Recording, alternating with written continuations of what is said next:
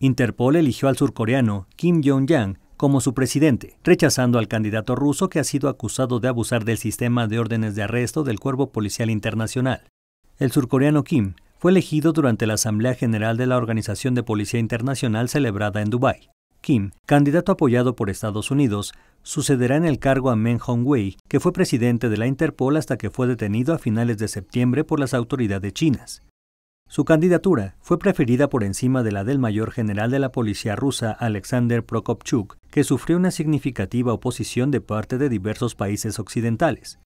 Sobre Prokopchuk había una creciente preocupación de que usaría el papel para atacar a los críticos del presidente ruso Vladimir Putin.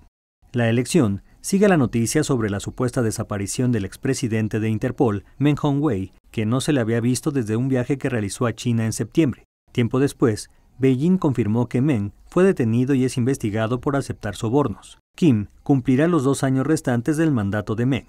Notimex.